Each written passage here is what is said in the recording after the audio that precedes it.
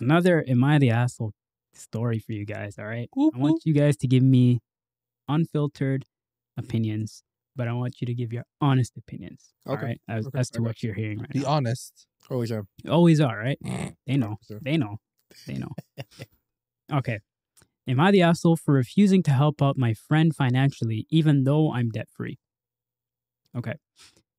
My friends and I are all university students between the ages of 19 and 22, but this story mostly focuses on me, 19 female, and Emma, also 19 female. The backstory to this is that my dad died when I was seven in a horrible accident at work. It was entirely the company's fault, and they ended up shelling out a lot of money in fines and settlements. Part of my family settlement was on was that, on top of a lump sum available when I'm 25, that the company pays for my university fees and other university costs incurred, including housing, meal plans, textbooks, etc. While this is not right or okay, what happened to my dad, the money has helped me and my family an unbelievable amount. Hmm. I've had I've had I've not had to get a job at any point during university, and my friends are all aware of, of my final of my financial circumstances, as it came up naturally when talking about my father's death. Recently, Emma has had her work hours significantly reduced, brackets, partly due to the pandemic and partly due to the company she works for shrinking, and is now struggling to pay her rent and genuinely survive. We live in London, so you can imagine the cost of living here. She doesn't qualify for a whole lot of student finance. A few minutes of my friends, including Emma, or sorry, a few of my friends, including Emma, approached me and asked me if I'd be willing to take on a part time job to help Emma out, basically giving her my wages.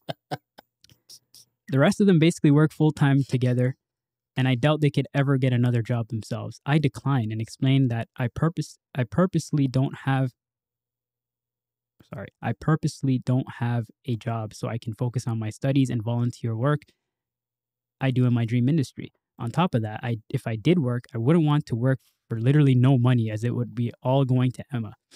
One of my friends said she understood and apologized for asking. I wasn't insulted that they asked, but you know how we Brits love an apology. The other three, four including Emma, said that I was being selfish and inconsiderate and that they do the same for me. I feel horrible. On one hand, I don't really want to work for nothing when I need to focus on my studies, and on the other, it's a pandemic and Emma really needs some help. If I don't try to help her, she might not be able to stay here and might have to drop out. Am I the asshole? hell no. Hell no. Hell no. Talk about it. you know, I was on that person's side for a bit. You know, like I get it. You're on hard times. You know, you don't have enough money. COVID is a time where everybody is losing their jobs, not getting enough hours. There's no job security. But for you to tell me, yo, I need you to get a job to support me, and you're just somebody I met. You know, like, the? First of all, I wouldn't even do that for anybody, in my opinion. Like, I think that is so. The fact that there was a conclusion that yo, let me have this guy work, but everything that he makes is mine. I, I never even considered that a thought process, even if I was ever broke, you know? I think that's so entitled, first and foremost. And like personally for me, I, I see nothing wrong with helping people, you know? Like if I have the means to help. Like in my opinion, money is just a tool in order to support something else, you know? Right. Because money comes and goes. It's not it's not gonna I don't like when people put like worth to money, you know? Like it shouldn't be something that you're obsessed with. It's more of like a means to sustain your lifestyle and support the people around you that you love, you know? But for her to come out and just say like, I need you to dedicate time of your life to go get a job to provide for me, I think that's ludicrous. Yes. I think, and the last thing I'm gonna say is, like, sometimes, fam, it's not made for you. If you can't afford to be here, I know it sounds kind of rude to say, it's not your time to go to school if you can't afford it. Mhm. Don't put your trials and tribulations onto somebody else, assuming that they'll support you. Maybe they're down the pipeline when you have enough money, you can come back, come back to school, do what you need to do in order to get a better job. But you shouldn't be out here uh, thinking that people are just going to support you just because they're friends with you. You know? Am I crazy to think that? no, 100%. Like, what the hell? What do you think? I I thought it was no, you can't. you- They came all together trying to approach her on take up your time. That's the one thing where they crossed the line, especially as a collective, approaching somebody saying, "Hey," instead of saying, "Hey, can we all chip in and give her a loan?" They said, "Hey, can you go get a job and take time out or whatever your schedule is?" And I think that's where they went crazy. And then to be audacity to have be offended by that. The her response saying no. I think that's where yeah they're they're what's the word. Mhm. Uh, I forgot what the word I was trying to say was, but yeah, they they came off they came off a certain way of entitlement. That's what I was about to say, and they came off a certain way of abusing a friendship, of trying to make her feel bad for saying no. I'm in school. No, I have other things to do, and I'm not trying to get a whole part time job to take time away from whatever else I have to do to put money towards someone that can downgrade her life or can put herself in another situation where she can't leave school or she can't change apartments to a little bit of a lesser one or try to move in with somebody try to get some sort of government assistance try to get a bank loan or something of that nature to help her pay th- a few things off. I want to disagree with this guy because i don't like d- agreeing with him but yeah there, there's no way someone's gonna come up and say hey can you change up your whole life because i'm in a tough position instead of asking for hey can you guys give me a loan that i can pay you guys back or hey can we find another solution of how we can assist her in helping her facilitate her life Right. I agree with exactly what you just said. I'm not gonna lie to you. I also am kind of reading in between the lines of this story that they're 19 and 19 to 22 is the age range that was given, Yeah. and they're really young. So I don't. I like to see this as them not knowing any better, in a sense, because, like you said, to ask somebody for a loan is one thing. That's mm-hmm. a natural thing that occurs from time to time. But to ask somebody for their time, for your financial gain or for your survival, is also that's more of an ask, you know, especially mm-hmm. when people have their own things going on, which clearly this person does, right? So in that sense, I feel like the friends are kind of they, they kind of have a convoluted idea of support from friends and how they should be towards each other, um, because they're they're just in they're in university right now, right? Yeah. So they're experiencing life for the first time, and this is probably some of the few some of the friends probably that were considering the person that's writing the story to be selfish and inconsiderate they could probably be experiencing their first form of real life struggle and this is how they're reacting to it you know they're kind of Yeah. trying to put their chips together and figure out a solution although it's not a realistic based solution right and the reason why i don't think it's realistic based is because this is their first interaction with reality Mhm. right so they're thinking we all have part-time jobs you're the only person that doesn't have a part i'm just trying to think of the psyche behind this thinking i'm not feel saying necessarily i agree with it but Mhm. they're probably thinking we all have part-time jobs and this person their hours got significantly reduced so we're just chipping in Yeah. and adding to them and since you don't have a job because of your circumstances at home with your with your finances and how your dad passed away they're thinking it's only beneficial that we add somebody else to this pot that's growing to help this person out in terms of like working to support somebody. Now in reality that doesn't make any sense Yeah. right? Because everybody has their own life everybody has their own struggle right? Everybody's got their own path in front of them right? And to kind of take steps out of your life to kind of help somebody get back on track of theirs is a real big commitment that most likely people aren't going to make with friends you 100%. know Yeah. family is a different con- conversation right because you grew up with them you probably have more of an attachment to them Yeah. better relationship i can understand that being um, a, a deciding factor to help somebody with giving them your time but since this is a friend group i don't think they quite understand the idea of friendship you know the idea of friendship is to be a support system for somebody to an extent you know? Obviously the level of friendship you have with that person matters too but i feel like at 19 or these early ages of like adulthood it's kind of misconstrued in people's head of how close people are with other people because i think about it in relation to my life too. When i was 19 or 18 or in those early years the people that i was seeing on a day-to-day basis are different from the people that i see on a day-to-day basis now and that's because we all grow and we all go through our lives and we get a head start of who we truly want to be right but i can't tell you that i would sit here and i can't sit here and say that i would have taken significant time out of my life to in in being becoming who i am to help somebody else Yeah. that i considered a friend you know what i mean Right. and that's not something that I- i'm saying as like a, a, in a in a in a negative way it's more so just looking at it in logistics you know like the actual reality of my life would not allow me to do that you know mm-hmm. so like you said there are avenues that they can take you know like helping people uh, with financial institutions that help people out you know there's there's uh there's student aids and stuff like that there's so many like avenues of support that this person can help see, or can get through other ways Yeah. that I don't think that these people are kind of aware of, you know,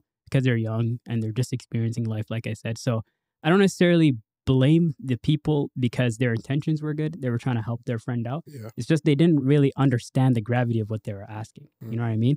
And it's it's kind of like a melting pot of shitty situations happening on two different ends. Yeah. Because on this side, the person that's writing the story is looking at their friends like, "How dare you even try to ask me for that?" Hundred You know. And then on the other side, the friend group is looking at them like, "Oh, you couldn't take a couple hours out of your day the same way we are to help this person that you consider a friend too."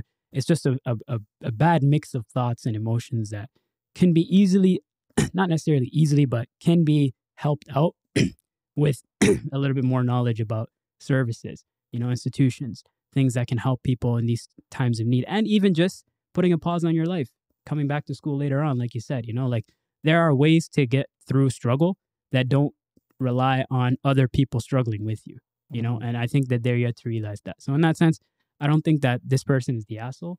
I just think that they're in a situation where they have to make a decision now and understand that their friends are going to think what they think because of the situation they're in.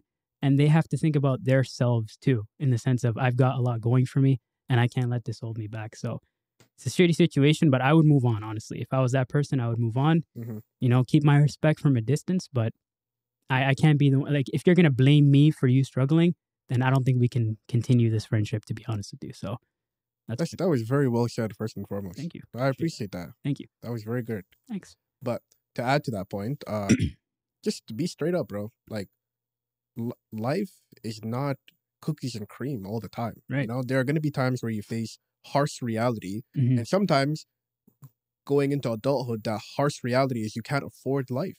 Mhm. And one of the luxuries of life, and you know, is education. Not everybody gets the luxury of going to education because it's expensive. It's obviously, especially, I'm assuming they're in the United States. No, they Where- said London. they're London. Okay, Yeah, England. I'm assu- they they have a the higher um, Oxford, right? All yeah, that. so it's expensive to live life and be like that. So to your point, I think she needs to circle back, be able to afford that, and come back at a later time. Because I can never imagine like, and this may be just personally for me. I hate asking people for stuff. Like I I never told you guys, but there was a time when I was 18, fam, and then I needed medication. And I didn't want to ask anybody because I was so embarrassed that the medication was eleven dollars. Your pride is so I, strong, I man. couldn't. I couldn't. I didn't have eleven dollars on me, fam. And I, I didn't want to ask my parents because I had a had a job at the time. Didn't want to ask you guys because I thought it'd be weird. So you're like. I'd rather die. so I'll be like, yo, I'll just I'll wait till I get my paycheck. I'd rather I'll- die you in the meantime. hundred percent. I'm like, I'll just wait until. I see what you're saying, though. Yeah. So it's- hard to ask And sometimes. for for her to not only ask for money, but on a continuous basis, you're asking for a, a plan. Like, listen, you get your paycheck on this day. You send me your money on this day. Like, how, how do you have such the audacity to do that? Like, It'd make more sense if they asked for a loan. You know what I mean? yeah, like That would make more if sense. you like if you said. if you approached me like, yo, there's four of us, let's all put in a bill a month, and maybe we can do something. You know, I'll be like, that's that makes more sense. that's to me. a can- better. Pl- There's a hundred dollars that is expendable. Yeah, it's a better place to stand on. Right. Than for you to come to me be like, yo, I need you to work a part time job, twenty hours at the end of the shift. Yo, make sure you this- transfer me yo, everything. Put on this cashier outfit right now. like, who, who the hell do you think you are? How how are you so entitled to think that I would be some form of a butler or finance of your your lifestyle? Like who?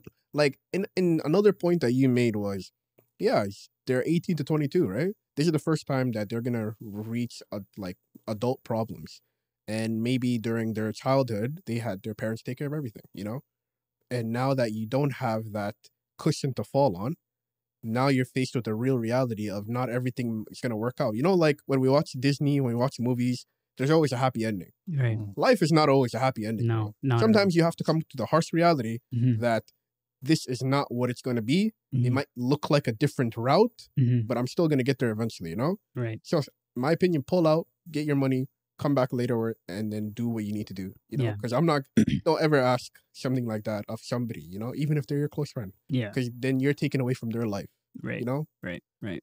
I agree. Hundred percent. And in, in in essence, no one's coming to save you. You know what I mean? Great way to say it. No one's coming to save you. It's No just Superman. you out here. Mhm. You know, you got to understand that at some point in your life. And if you're leaning on people for support in the sense that they are the ones that are helping you live your life, then that's gonna come and hit you later on, some point down the line. And this Yeah. is kind of a good instance of that. Let's get it out the mud time. That's what the twenties are for. Yeah. Everyone's thugging it out. Everyone's sleeping on the floors. Everyone's some people are sleeping in the cars and they're working part time jobs, they're working full time jobs that may not be what exactly they want to do down the line. And if you're at that stage right now, embrace it. Cause even for example, us starting off this podcast, we're recording in different rooms and strange areas and trying to figure things out Mhm. until we got Frizzo and he ended up helping us out. That's just uh, our form of this path, Mhm. and everyone's path is different. Everyone's path to di- uh, 19. I was working factory jobs, trying to figure things out. Shout out. Yeah, Shout trying to. I didn't know how to lift. I got some guy had to coach me how to lift boxes. Lift with the legs. bro. 'Cause- Lift with yeah. the legs, not with the back. You have to bend your knees Bend the when, knees. when, you, when Yeah, you're lifting the tell him, boxes. Talk to him. because your your your lower back. I swear I had lower back pain and knee pain for a long time. At 19? Uh, no, later on because I did, was not picking up the boxes properly. Um, okay. That started building up strain on my back and my knee. So that's something you get educated about in different areas. And they kept on telling me, "Yo, this is the older Guyanese and Jamaican guys that were where I was working with, telling me, yo, go back to school, yo. I'm I'm here because I have to, because I have this amount of kids that I have to figure things out for. You you're not at that age. Take care of it. My brother tells me, take care of your time right now because you're at a certain age where you don't have too many responsibilities. hmm And these are some lessons that people need. 19, you got to figure things out. If one the option's not there, you got to find another avenue. If that avenue's not there, you got to find a third avenue and Gotta try to figure things out. Got to pivot. Yeah. Thug it out. Dug it out. I agree. Yeah. You know, I, I I- just to kind of end this up, I have a kind of a general question for you guys. Do you think it's possible in life to avoid struggle No, No. no, no, no. for everyone? No, it's, struggle comes in different shapes and forms. Right. Just Facts. even, let's say, let's take away our personal experience. Like, you know how we grew up not that rich, we're very low income. Let's let's take our mind out of it. Even if I was a rich guy, even if I came from a rich household, there are challenges that I would face even as a high income household, you know? Like where I will ultimately be, like what passion I would do. Like uh, like we have different levels of struggle, but I still think struggle is what natural to life. You know what I mean? So no one can avoid struggle. Yeah, no one can avoid struggle, bro. Hmm, you know Interesting. what I mean? I, I feel like that's true, but in a sense, I also feel like some people are oblivious to the struggle they're going through. Right? Give me an example. Like I see, like uh, a lot of the time, I see like rich, rich, rich people Mhm. having the most wild kids. You know, just like spoiled and just very entitled, and they don't even see that they have a problem. Yeah. Right. And I see those people like just kind of living life day to day, Yeah. ignorant to the fact that they're a menace to society. Yeah. You know, and I look at them like, do they know that they're struggling? I ask myself, do they know that they're struggling because they have so much of the stuff that people want, Yeah. right? But they don't have a lot of the things that people need. You know what I mean? Like intelligence. I, I You know? Yeah, yeah. So in that sense, it is a struggle visually. I can see it. Mhm. But does this person know that they're going through this, or are they blind to it? I think they they probably in some sorts try to block majority of it out. But I don't think you can never no one can ever be blind to a full struggle of what what's going on around them. Like the first example when you said does everyone have the same like does everyone realize their struggle? My mind went to wrestling. Like Rey Mysterio may go over that top bottom rope when he enters the ring, but Big Show may go through the over the top rope Okay. doesn't mean both of them uh, have their own trials and tribulations once they're in that ring and they have to deal with whatever comes as the opponent Oh, but entering the ring is different at different heights. Yeah. still we're all still playing the same game of life and everyone has to figure out what they're what they're going through. Some people may use drugs to to block that out. Some people all the eyes are on them. Some people no eyes are on them.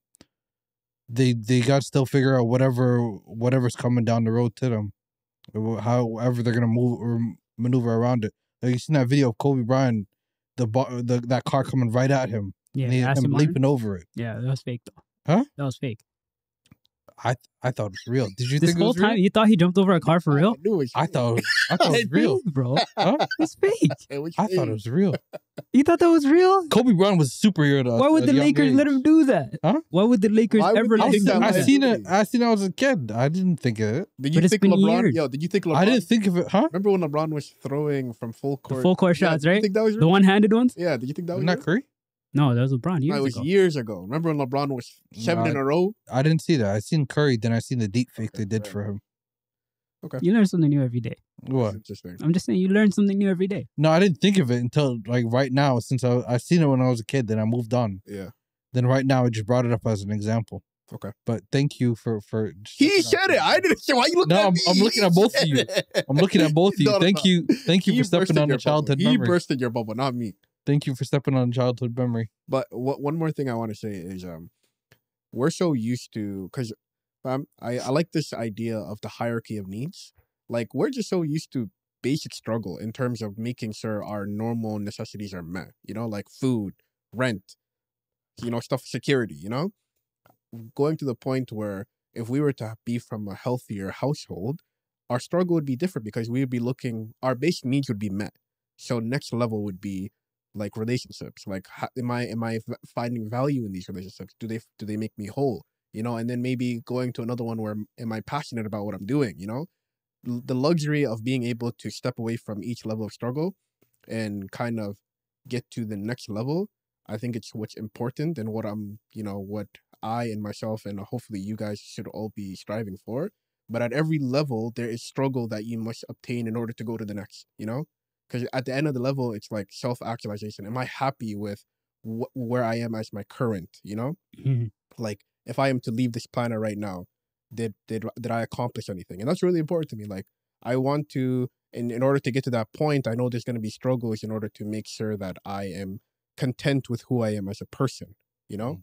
So then once like i know there's going to be a lot of struggle to get to that point but that's obviously away from what we've grown from like the basic need struggle you know does that make sense Yeah, hundred percent. I think uh, a, an added added layer to that conversation would be self awareness.